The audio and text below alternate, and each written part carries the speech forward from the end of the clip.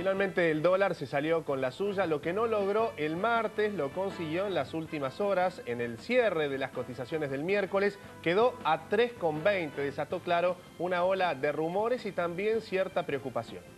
El Banco Central había tomado medidas para permitir una mayor demanda de dólares y eso provocó una salida de capitales en todos los países emergentes, básicamente porque son, son interpretados como activos de riesgo. Son un bono de Argentina o un bono de Brasil o un bono de Venezuela es considerado un activo de riesgo tanto como una hipoteca subprime en Estados Unidos. El dólar volvió a subir y eso es noticia. En solo dos días aumentó 7 centavos y superó los niveles del 2003. Este miércoles cerró a 3 pesos con 15 para la compra y 3 con 20 para la venta y no se sabe bien cuál será su techo.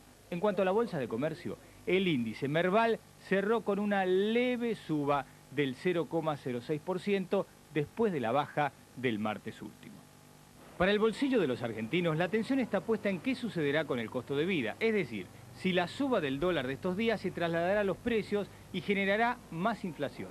Todo aumento del dólar lamentablemente se refleja en precios, en general sobre todo en los productos primarios, es decir, los alimentos, que es lo, más, lo que más preocupa. Ya venían habiendo aumentos, por lo tanto esta es una situación contemporánea que está presionando sobre los precios en, en general en la canasta de productos alimenticios. De esta manera el dólar superó el techo que había alcanzado en marzo de 2003. El dato económico del día. Allí lo tenemos, 21,1% fue el aumento de las ventas en los shoppings en el mes de junio con relación al mismo mes del año anterior. Las imágenes